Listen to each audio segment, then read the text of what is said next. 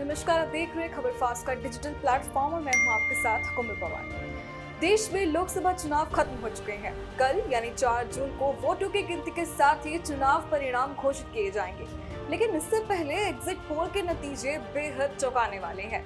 इस समय सभी की निगाहें कुछ चुनिंदा राज्य पर टिकी हुई है, जिसमें से बिहार भी एक है।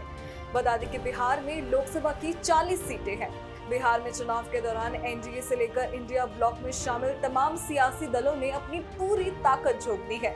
अब सभी को इंतज़ार कल आने वाले रिज़ल्ट का है। ऐसे में आइए जानते हैं तमाम एग्जिट पोल बिहार में किसकी जीत की ओर इशारा कर रहे हैं। आशित एक्सिक्स माई इंडिया के एग्जिट पोल के आंकड़ों के अनुसार जो नतीजे निकलकर सामने आ रहे हैं, उसके मुताबिक इस बार एनडीए को बिहार में 2019 के मुकाबले 6 से 10 सीटों का नुकसान होता दिख रहा है। प्रधानमंत्री नरेंद्र मोदी की अगुवाई वाले इस गठबंधन को बिहार में उनतीस से 33 सीटें मिलने की संभावना है।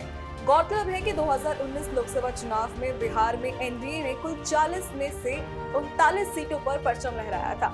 ऐसे में इस बार भी सबकी नज़रें बिहार पर टिकी हुई है। यानी इसका मतलब है कि बिहार में इंडी ब्लॉक का बहुत ज़्यादा तो नहीं लेकिन कुछ सीटों का फ़ायदा ज़रूर मिलता दिख रहा है। जहाँ तक बिहार की हॉट सीट की बात है तो वहाँ कई दिग्गज चुनाव में हारते दिख रहे हैं। सबसे पहले बात बिहार की सबसे चर्चित सीटों में से एक पूर्णिया लोकसभा सीट। इस सीट पर जेडीयू के संतोष कुशवाहा, राजद की बीमा भारती और पप्पू यादव के बीच त्रिकोणीय मुकाबला है। इस सीट पर राजद के कोर वोट बैंक माने जाने वाले मुस्लिम यादव वोटर में पप्पू यादव की मज़बूत पैठ दिखाई दे रही है। चुनाव से ठीक पहले पप्पू यादव ने अपनी पार्टी का विलय कांग्रेस में कर दिया था। पप्पू यादव को पूरी उम्मीद थी कि कांग्रेस पूर्णिया से उन्हें टिकट देगी। लेकिन बिहार की सियासत के पितामह कहे जाने वाले लालू यादव ने आखिरी मौके पर दाव खेल कर पप्पू यादव की टिकट पर रोक लगा दी।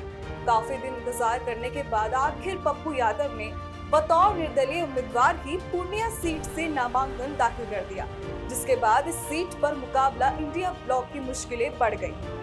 पूर्णिया सीट पर पप्पू यादव को कांग्रेस से टिकट नहीं मिलने के कारण उन्हें कुछ सिंपैथी वोट भी मिलने की संभावना जताई गई है।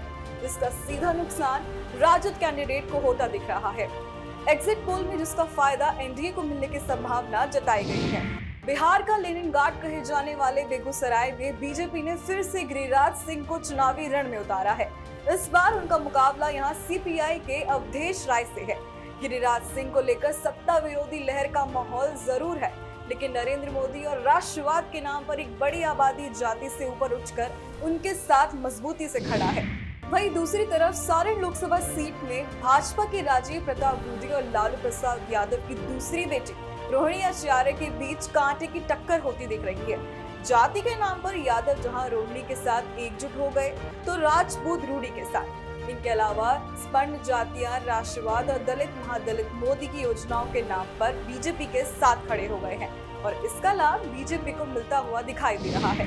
वहीं अगर बात हाजीपुर लोकसभा सीट की की जाए तो चिराग पासवान के पिता की विरासत बचाने में कामयाब होते दिख रहे हैं।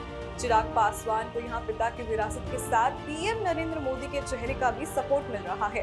पिछले सैतालीस सालों से पासवान परिवार का हाजीपुर से सीधा कनेक्शन रहा है।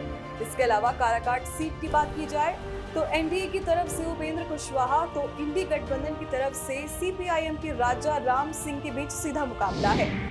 दो कुशवाहा के बीच की लड़ाई को भोजपुरी स्टार पवन सिंह ने यहाँ निर्दलीय मैदान में उतरकर न केवल मुकाबले को त्रिकोणीय बनाया है, बल्कि रोचक भी बना दिया है।